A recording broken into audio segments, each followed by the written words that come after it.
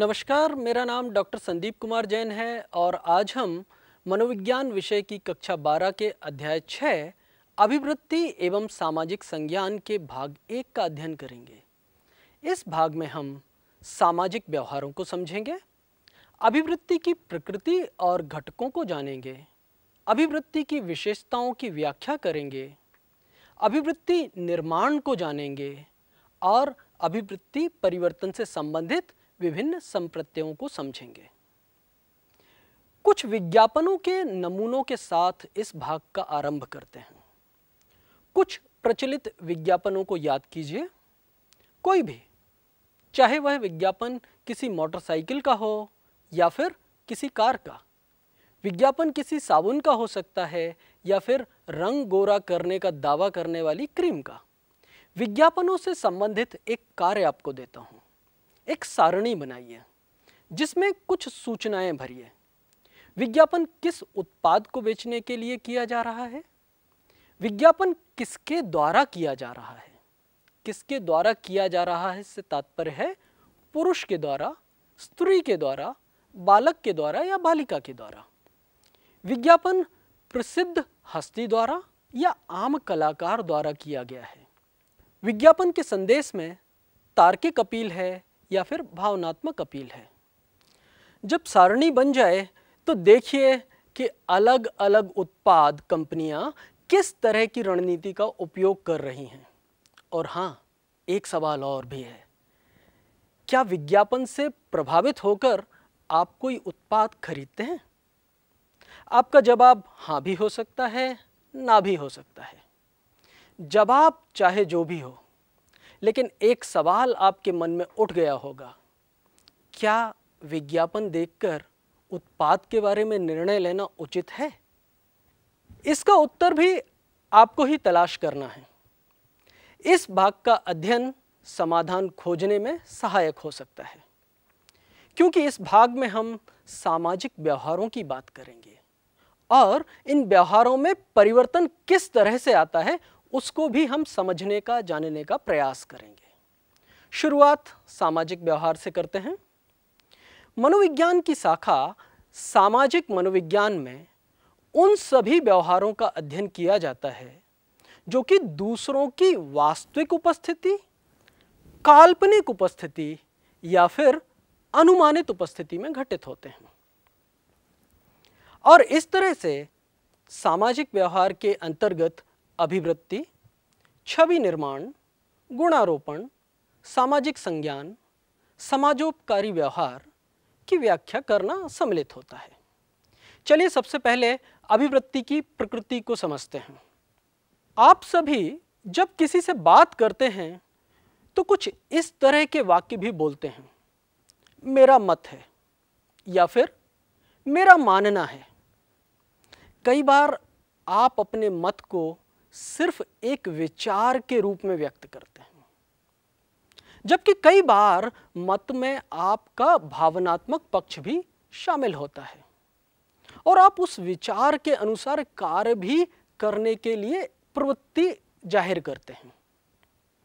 इस अवस्था में आपके मत केवल मत नहीं रह जाते। ये आपकी अभिवृत्ति के उदाहरण हैं।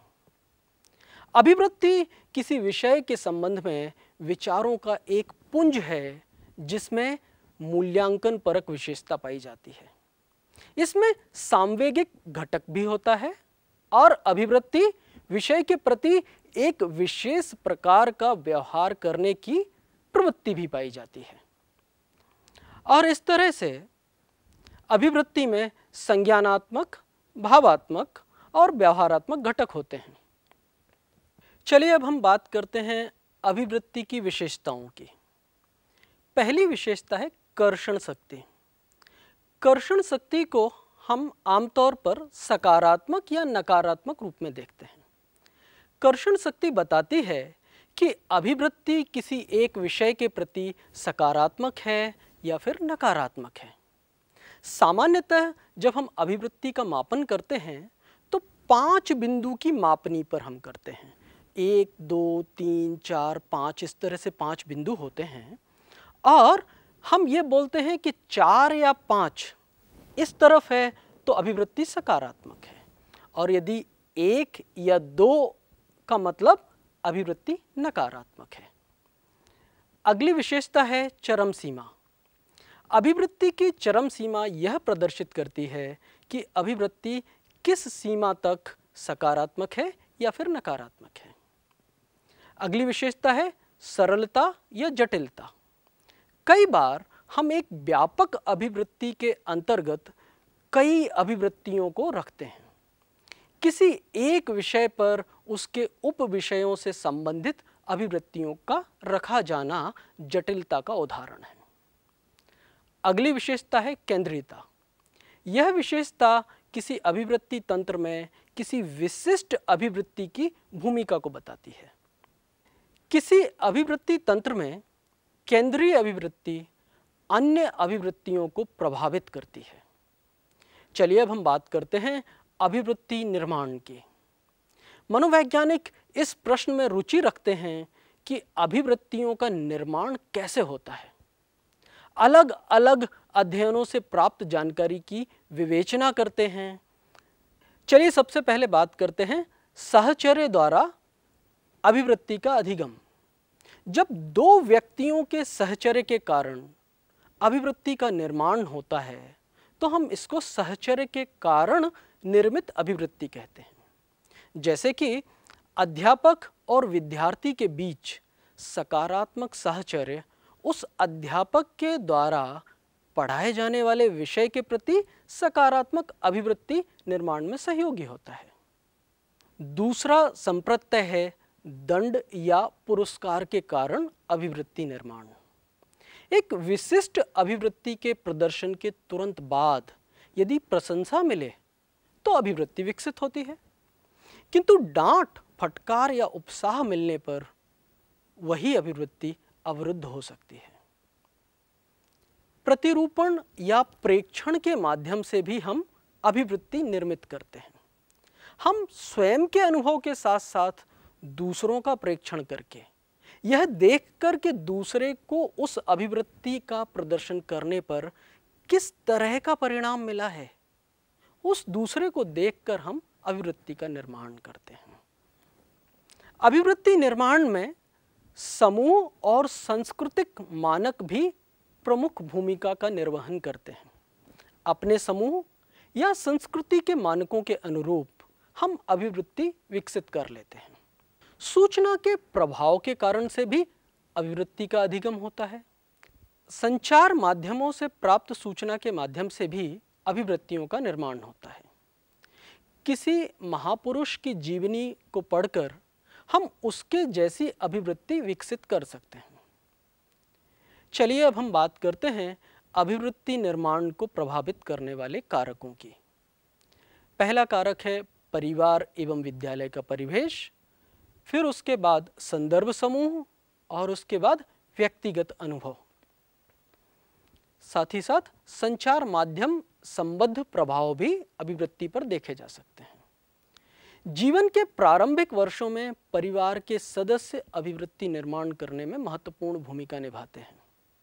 जबकि बाद के वर्षों में विद्यालय का परिवेश और विद्यालय के परिवेश से मिलने वाले प्रबलन या फिर प्रेक्षण अभिवृत्ति निर्माण की पृष्ठभूमि बनते हैं। राजनीतिक, सामाजिक मुद्दे, व्यवसाय, राष्ट्रीय मुद्दे आदि के प्रति अभिवृत्ति प्रायः संदर्भ समूह के माध्यम से विकसित होती है।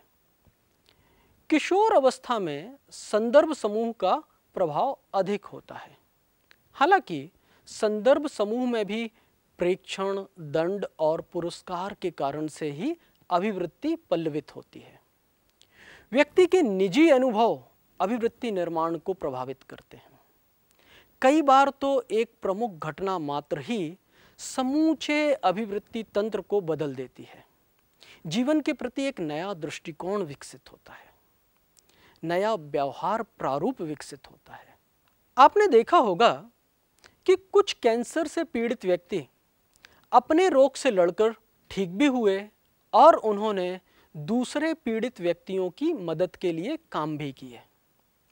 अभिवृत्ति निर्माण में संचार माध्यम संबद्ध प्रभाव आज के दौर में अधिक महत्वपूर्ण हो गए हैं। जब आपकी उंगली के एक क्लिक पर इंटरनेट दुनिया भर की सामग्री आपके सामने परोस देता है, सोशल मीडिया पिछले कुछ वर्षों में एक महत्वपूर्ण प्रभाव के रूप में उभरा है। पाठ्यक्रम के अतिरिक्त पढ़ी जाने वाली किताबें भी इस श्रेणी में योगदान देती हैं। इस तरह के माध्यम सबसे पहले संज्ञानात्मक और भावात्मक घटक को प्रभावित करते हैं, फिर व्यवहारात्मक घटक को भी प्रभावित करते हैं। संचार माध्यमों से प्राप्त सूचनाओं पर शिक्षक, अभिभावक और सोशल मीडिया पर प्राप्त जानकारी पर तो संपादक का भी कोई नियंत्रण नहीं होता है। इस कारण से अभिवृत्ति निर्माण की दिशा पर भी कोई नियंत्रण नहीं रह जाता। सकारात्मक या नकारात्मक, दोनों तरह की अभिवृत्तियों का निर्माण संभव है। अतः हमें सूचनाओं के चुनाव में सावधानी रखने की आवश्यकता है। अभिवृत्ति परिवर्तन। कई बार एक शिक्षक के रूप में विद्यार्थियों की अभिवृत्ति परिवर्तन या फिर एक टीम लीडर होने के नाते अपनी टीम के सदस्यों की अभिवृत्ति परिवर्तन करने के बारे में हम सोचते हैं, जिससे हमारी कक्षा या फिर हमारी टीम एक सही दिशा में चल सके। अभिवृत्ति परिवर्तन हेतु विज्ञापन कंपनियाँ भी प्रयास करती हैं, ताकि उपभोक्ता की अभिवृत्ति में परिवर्तन कर वांछित उत्पाद को बेचा जा सके। चलिए अभिवृत्ति परिवर्तन में निहित कुछ प्रक्रियाओं को समझते हैं। सबसे पहले फ्रिड्स हाइडर द्वारा प्रतिपादित संतुलन संप्रत्यय की बात करते हैं। इस संप्रत्यय को पी ओ एक्स त्रिकोण के रूप में भी व्यक्त किया जाता है, जिसमें पी वह व्यक्ति है जिसकी अभिवृत्ति का अध्ययन किया जा रहा है। ओ एक अन्य व्यक्ति है तथा एक्स अभिवृत्ति का विषय या फिर कोई एक और अन्य व्यक्ति हो सकता है।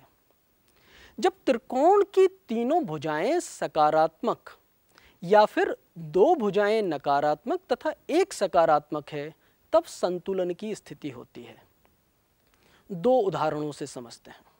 उदाहरण एक, व्यक्ति P और O एक दूसरे को पसंद करते हैं और दोनों ही व्यक्ति X को भी पसंद करते हैं।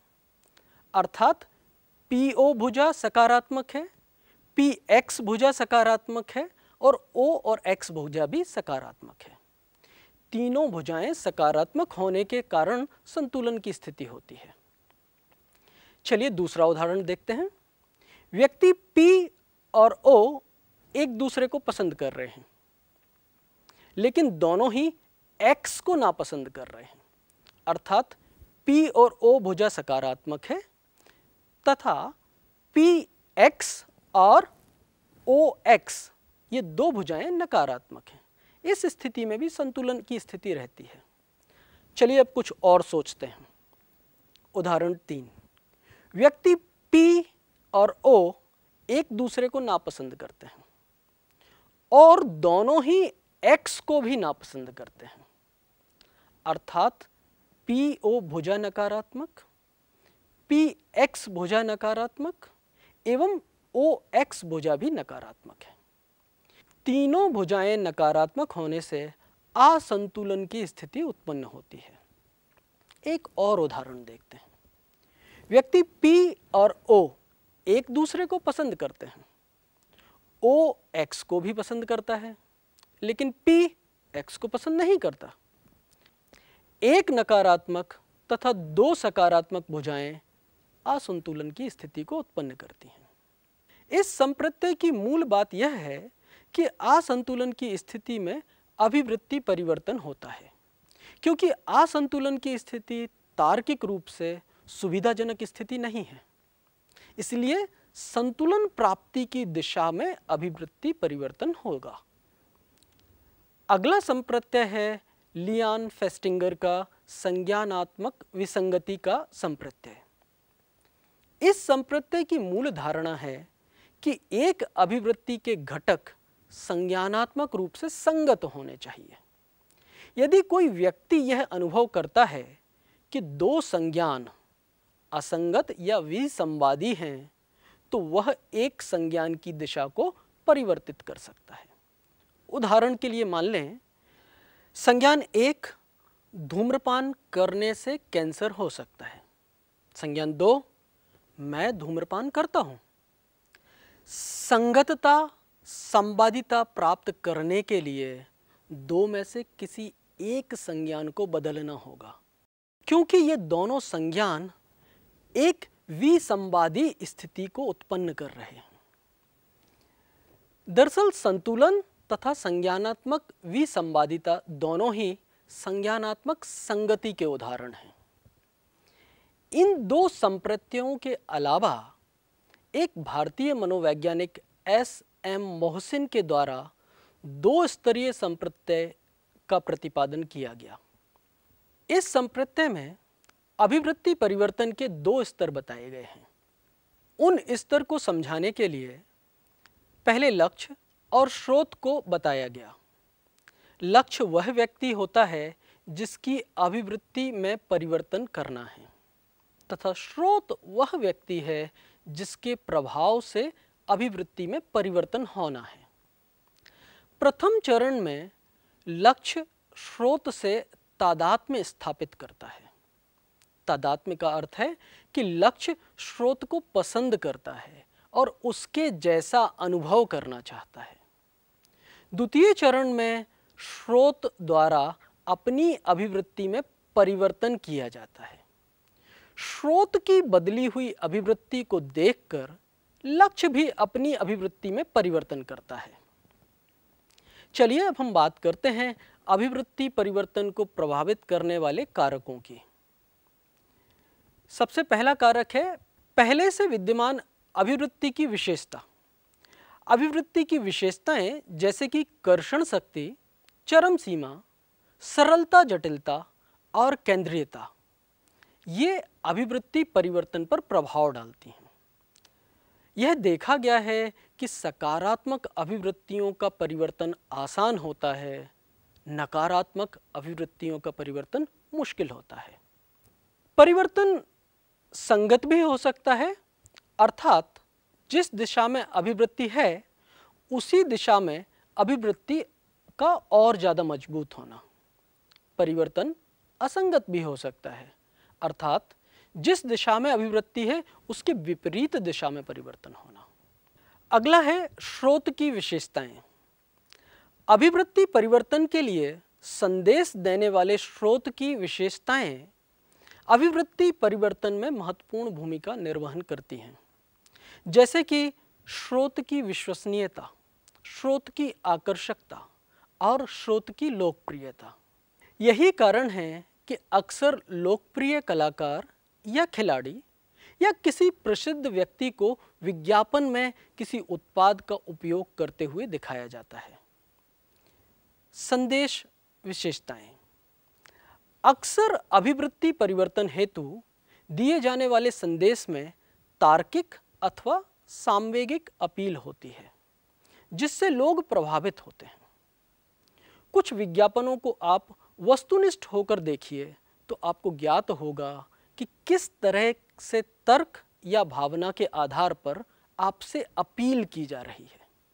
संदेश द्वारा कौन से अभिप्रेरक उद्दीप्त होते हैं? यह भी परिवर्तन का आधार बनता है।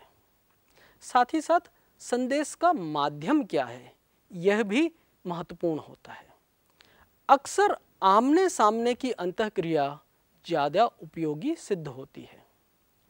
लक्ष्य की विशेषताएँ जैसे कि जिस व्यक्ति की अभिवृत्ति परिवर्तित की जानी है, उसकी अनुनयता या फिर उसके प्रबल पूर्वाग्रह या फिर उसका आत्मसम्मान का स्तर या फिर लक्ष्य व्यक्ति की बुद्धि, ये वो विशेषताएँ हैं जो उस व्यक्ति की अभिवृत्ति परिवर्तन को प्रभावित करती हैं। लचीले स्वभाव वाले व्यक्तियों की अभिवृत्ति बदलना आसान होता है। अधिक बुद्धिमान व्यक्ति की अभिवृत्ति बदलना मुश्किल होता है। हालाँकि अधिक बुद्धिमान कई बार स्वेच्छा से गुण दोष का विश्लेषण कर अभिवृत्ति परिवर्तित कर लेते हैं। हमने देखा कि अभिवृत्ति परिवर्तन आसान काम नहीं है। बस यह कहने मात्र से कि अभिवृत्ति सकारात्मक रखिए, यह पर्याप्त नहीं है। अभिवृत्ति परिवर्तन हेतु यहाँ वर्णित विभिन्न पक्षों को ध्यान में रखकर व्यापक योजना बनानी होती है। इस भाग से हमें यह सूझ मिलती है कि सोशल मीडिया या विज्ञापन से प्राप्त होने वाली सूचना के आधार पर अपनी अभिवृत्ति परिवर्तन करने से पूर्व तर्कपूर्ण चिंतन भी कर लेना चाहिए। यहाँ हम इस भाग का समापन करेंगे। इस भाग में हमने सामाजिक व्यवहारों को समझा अभिवृत्ति की प्रकृति और घटकों को जाना, अभिवृत्ति की विशेषताओं की व्याख्या की और अभिवृत्ति निर्माण और अभिवृत्ति परिवर्तन को समझा। धन्यवाद।